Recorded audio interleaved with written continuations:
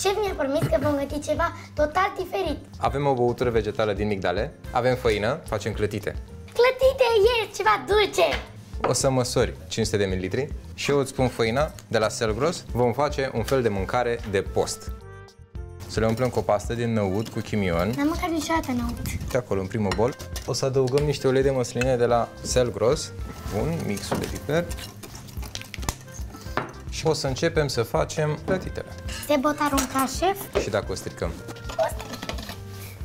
N-am stricat-o, vezi? Acum o să călim ceapă, adăugăm roșiile cu ustroi, rozmarin, cimbrișor, le pisăm și facem un sos. Vreau să gust uh, mixul.